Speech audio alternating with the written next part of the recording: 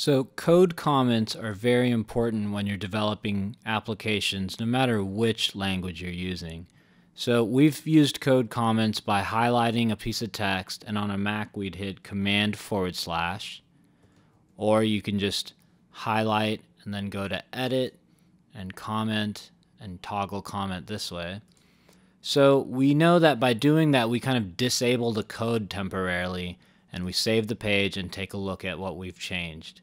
So it's a way of turning on and off code, but there's a more important reason for using comments, and it's for other humans to come in and read and get a sense of what you were coding.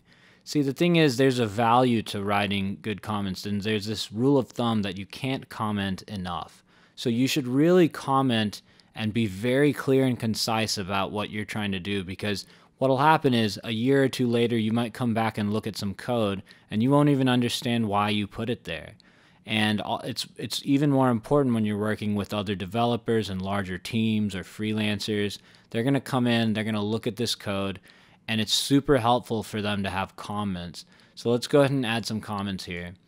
I'm just going to add a comment here at the top and say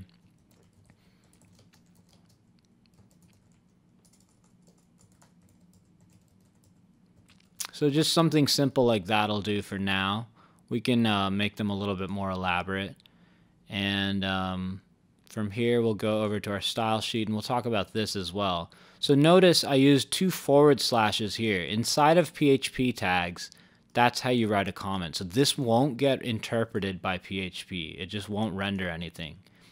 So that's the beauty of comments. You kind of just bypass the code and they're just human readable.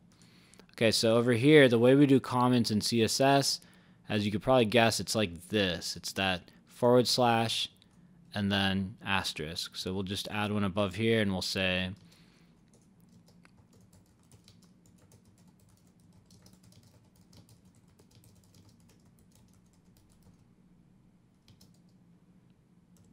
And we can be even more specific by saying bootstrap jumbotron like that.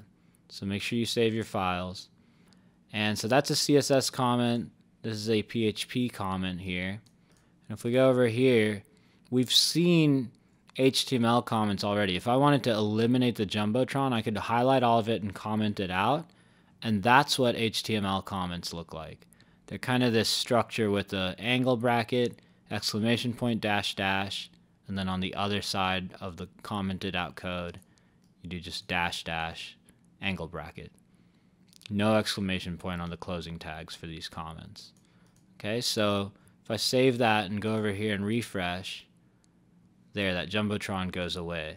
So I'm going to highlight all of this and just kind of bring it back by hitting Command forward slash and then save that. Go over here and refresh, and there we go, it's back. So just wanted to point out the importance of comments. And while we're at it, we can go ahead and delete this line of code. We don't need this anymore since we're now doing it using best practices. We're loading Bootstrap up properly. All right.